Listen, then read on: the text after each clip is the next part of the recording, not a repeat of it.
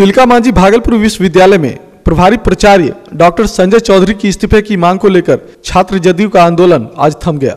लेकिन यह आंदोलन 21 दिसंबर को एक बार फिर से आक्रामक रूप के साथ चेतावनी भी दे गया है। इससे पहले आज छात्र जदयू ने प्रभारी भीसी को हटाए जाने के विरोध में विश्वविद्यालय के मुख्य गेट पर ताला जड़ दिया और गेट के सामने अपनी मांगों के विरोध में बैठ गए। इस दौरान छात्रों ने प्रभारी भीसी के खिलाफ जमकर विरोध प्रदर्शन के साथ नारेबाजी भी की।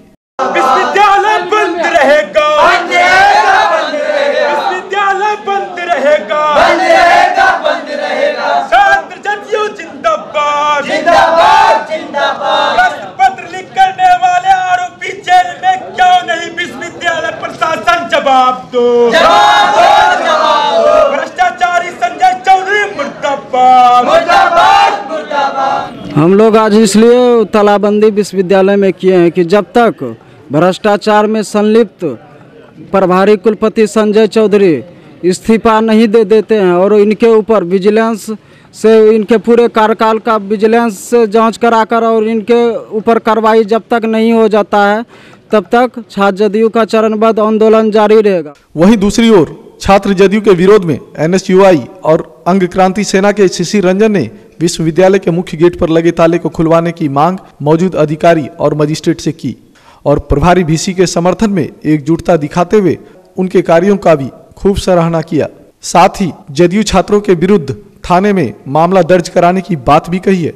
मैं मजिस्ट्रेट को बोला कि आप दरवाज़ा खुलवाने की कृपा करें और आप आंदोलन कोई भी कर रहे हैं, सभी संगठनों को आंदोलन करने का अधिकार है। और ये जो पता चला मुझे कि हम गुंडा बोला गया गुंडा नीतीश कुमार के पालतू गुंडे लोग आंदोलन कर रहे हैं। विश्वविद्यालय का माहौल खराब कर रहे हैं। हम लोग बराबर छात्र हितों में आंदोलन करते आए हैं और बराबर छात्र हितों में आंदोलन करते रहेंगे। और माननीय कुलपति महोदय ईमानदार हैं और कुलाधिपति महोदय ने उनको नियुक्त करके भेजा जो सही निर्णय है, इसका अंग क्रांति सेना बिहार संगठन समर्थन करता है। छात्र जदयू खुलेआम धमकी दिया है कि घूम मारेंगे तुम लोग को। हम लोग अभी एफ़ भी करने विश्वविद्यालय थाना में जाए। हालाँकि छात्रों के उग्र प्रदर्शन और उनकी मांग को जायज़ ठहराते हुए कॉलेज के अधिकारी ने तैनात मजिस्ट्रेट की मदद से छात्रों की मांग पर सामने आए और उग्र छात्रों को शांत कराने के साथ साथ उनकी मांगों को लेकर उन्हें आश्वस्त भी कराया।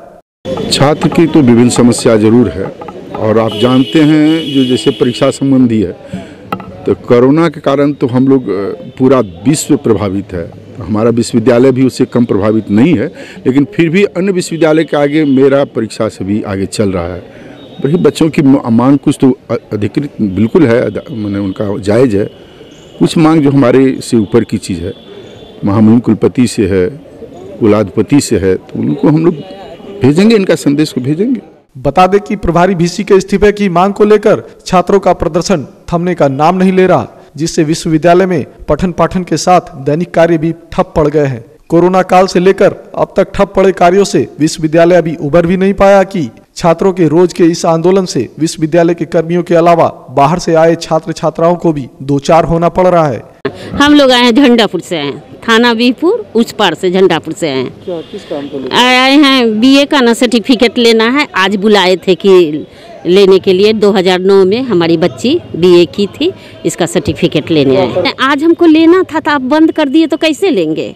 घुर घुर के आना जाना इधर लॉकडाउन था बंद था खाली पढ़ाई में लोग बाधा डालता है। हालाँकि छात्र भी मानते हैं कि मामले में जाँच के लिए एक उच्च स्तरीय टीम का गठन किया गया है जो जाँच में जुट भी गई है। बावजूद छात्रों का आंदोलन थमने की जगह ज़ोर पकड़ता जा रहा है।